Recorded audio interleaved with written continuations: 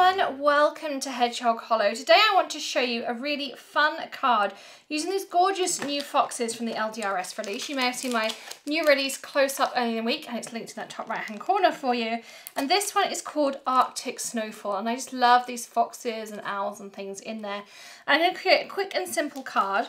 I've already stamped them out using the LDRS Hybrid Raven ink pad. Now the reason I use hybrid is because I want to use alcohol markers but I could also throw in some shimmer or some watercolours. I could use any colouring medium I want. I don't have to think about what ink is in, um, what ink I'm stamping. I can just flip backwards and forwards depending on how um, that kind of takes me.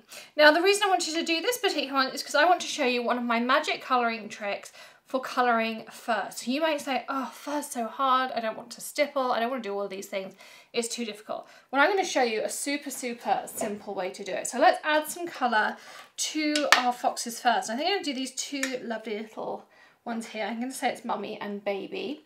So let's pick out some shades that we want to work with. And I'm also going to do super, super simple colouring as well. Um, I'm just going to talk you through it as I go. Nothing complex at all. We're going to make them look really, really cute too. So I'm going to start off with an E double zero base on here. And I'm going to start off just colouring in the areas that I think they would have coloured fur. And this on the tail here, I'm going to flick in with my colour and then I'm going to flick out with some white tints as well. So um, we'll have those in there too. Now you may sometimes want to heat set your black inks. This one's been left for a little while, um, but sometimes just heat setting it makes it a little bit more permanent, particularly if you're working on things like vellum or um, anything like that that is a non-porous. So I'm trying to think how foxes look. Always have a mind blank when I start colouring. The amount of times I get my phone out and I have to Google an image of how an animal looks so that I get my colour placing right. And there's nothing wrong with that. If that's what you need to do and you feel that your cards look better that way, you um, can of course do that. So I'm doing colours in here and then I'm going to show you how to colour white as well. So lots and lots of tips in this video. So I've laid down my base colour. One thing I forgot to do was put something porous underneath um, my image because that gives my ink somewhere to go and otherwise I'm going to end up with some bleeds by the time I finished. So I just popped um, a piece of paper underneath, just regular copy paper, nothing special at all. Um, but you'll see that I then don't get any bleeds. So I'm just adding tints of my second colour here.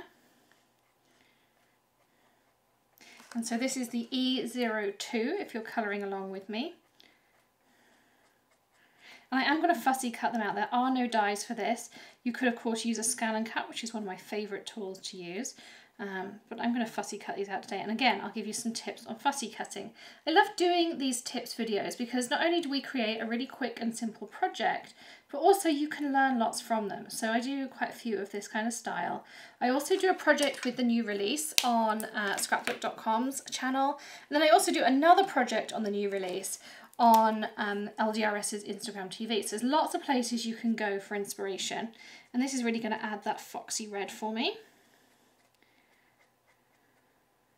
And so I'm just flicking colour in. I'm not doing any, you know, kind of complex or difficult colouring for this one. If you want to, you absolutely can. I'm going to keep the baby a little bit lighter than the mummy. So she kind of in. I love those eyelashes on her. I'm not sure who illustrated this particular one, but I just love those eyelashes that she's got. Wish I had eyelashes like that. So I'll add a little bit of colour to baby, but we'll be adding more of these ready tones into mummy. And even though tummy's white, and because nothing is truly white, we will also be adding colour in there too. So I'm going in with more of my, this is the E08, so that's more of this ready tone.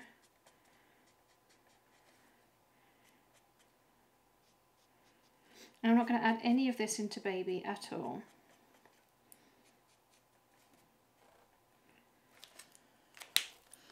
going in with an E09, which is my darkest shade.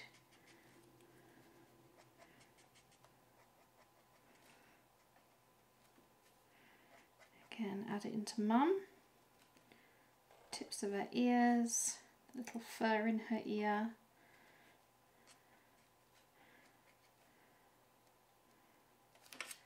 Then I'm going to go back to that lightest of the reds, which is the E07. I'm not going to see huge amounts of that base colour that I started with on mum, if any at all, because I want her to be more into those ready tones. But it's nice to have a base colour down, A, because if you've got any kind of lights and darks areas, but also it gives you a little bit of forgiveness, because if you want to go back, um, you can do that too. So then the E08. And the thing with alcohol markers is they layer, so the more layers you put on, the darker it's going to get.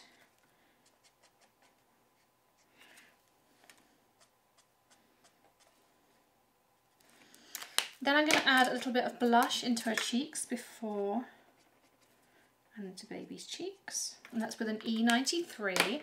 And now we're going to work on the white areas. So white is never truly white. So I'm going to work, because I want it to be very warm with those reds, I'm working with a W00 and a W1. And so I'm flicking into that red. And then I'm going to take my lightest of the darker shades, my E07, and I'm going to flick back. And what I want is a really kind of seamless blend, blend between the two. And that just is involved in layering. And another reason why you want that piece underneath. You can see my ink's got somewhere to go. If it didn't have anywhere to go, it would bleed straight into um, my project, which is not what we want at all. So I'm adding some of this W00 all around. Kind of wishing I'd heat set because I've had a couple of little bleeds there. Um, if you heat set, you will not have those issues. And again, I'm just adding a little bit of texture in. Also adding some of that darker W over some of those red areas just to kind of tone it all in together inside of their ears. But it's coming together to be a really nice kind of warm piece. I'm going to go back with that E02. Kind of bring his colours into baby a little bit more. Because I want baby to look a kind of sweet lighter colour. Do you see there? Super quick and simple colouring. And now we're going to add that fur texture. So I added no fur texture while I was colouring. I have a piece here of washcloth, just cheapy Ikea or Amazon Basics, and I just cut them up into pieces each time. I've got some of the Copic Various 00 blender in a big bottle. And all I do is squirt a little bit on. You don't need a huge amount. And now I'm going to put this onto my image, a couple of seconds and lift. And just as I go, I keep turning the piece so I don't put any red pieces on the grey. And this is another reason I do it this way is because if I want to fussy cut it out, if it does go outside the lines a little, which it may do adding that colourless blender, it's not going to be an issue at all. You can see here where it's kind of started to run, but we're going to get rid of all of that. But what it does do, if I lift this up, you see all that texture you now have in there, and that's just happened whatever texture you've got. So if you had a piece of denim that you did this with, you'd get a denim texture in there. But because we've used that washcloth, you're going to get that furry texture. So that is how we create super quick and simple fur. And you do not need to be an expert colorist. And you can do that with any alcohol markers. So if you're Spectra Noirs or Chameleons, if you have... Um, tonic markers, you can just buy that Various 00. We'll make sure we link it up in the description for you. I buy a big bottle probably every couple of years and then it lasts me all that time and I can do fur and lots of other techniques as well. But that is one that I think you will love and you will use a lot. Again, I'll link out those Amazon basic washcloths I buy that I just cut up as and when I need them. Um, it's just really handy if you're working with alcohol inks or you're working with things like this. I don't have to worry about reusing them if I don't want to. The other thing is it will soften your line. So if you want a nice hazy edge, maybe you're doing something in the moonlight and things like that, and you want that hazy edge, that putting that colour blender over the top again is going to give you those kinds of effects. So you can really play around with things. Now the other thing here is I'm fussy cutting out while I'm chatting with you. And um, my fussy cutting doesn't take me very long to do because the easiest way to do it, Find a scissor you like. I love these Tonic Tim Holtz scissors and they also come in a smaller size if you want something super intricate and they come in a larger size as well. This is the medium. But what I do is I keep my scissors still and every time I move, I'm moving that cardstock. And because I'm moving the cardstock, I get a nice close trim. There's no shakes because my hand itself isn't moving. I'm just moving this piece. So you can see how easy that was. So just like that. So there is our pretty little one there. Now I've already pre-cut some pieces so that we can start assembling a card. And um, I'm going to also grab some B quadruple zero and B zero zero because I'm going to pop my little foxes on here. But I don't want to just look like they're kind of floating in midair. I'm going to take that lower shade. So this is the B quadruple zero. And I'm going to lay some down because I kind of want it to look like a bit snowy on the ground. It doesn't have to be much at all. So just a few flicks of that blue in there. And then I'm going to blend those out. I don't have to worry about it bleeding because it's just supposed to be a little bit for them to sit on.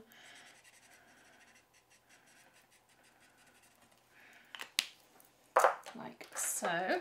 I also have pre-cut a piece of Blue Jay cardstock that I'm going to stick this onto. We're also going to want to assemble our card base as well. So these are just oval dies. Again, I'll make sure all the links are in the description for you. I'm going to use a piece of this beautiful new pattern paper as well. And I'm going to cut that down to four inches by five and a quarter. And I'm going to grab my card base uh, like so. And again, just take my tape runner.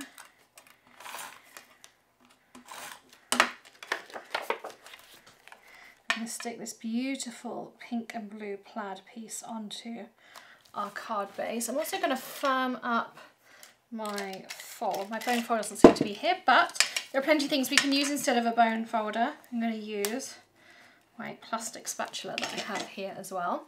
And then we're going to add this on with some foam tape. So I have my big roll here.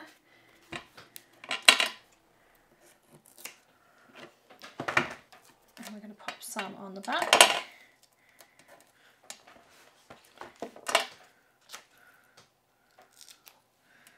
so, like so. And so you can see this card we've been going about 13 minutes and we've created the card completely. And now I'm going to add some onto the back of my little foxy lady.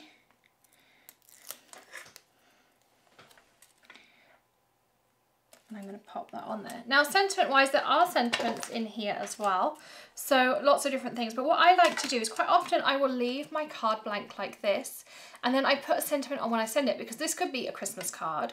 It could be a new baby card. It could be just a note to say hello. So I do have a lot of cards that I just leave blank and um, I have a box of all my sentiment stamps and when I go to send them out I just pop a little sentiment banner down here so I'll put a sentiment there or I might even stamp one here depending what I'm doing. But I absolutely love this little foxy lady. I love all that texture that we created in there as well. And I hope you learned some top tips too. So don't forget to hit that subscribe button and ring the bell so you get notifications of future Hedgehog Hollow videos. And please do give us a thumbs up if you learned a top tip today and you enjoyed following along with me. Hope to see you again very soon. Check out those links in the description for everything we've used today. And of course, a 15% coupon code if you're watching this during the release period. Happy stamping! Bye!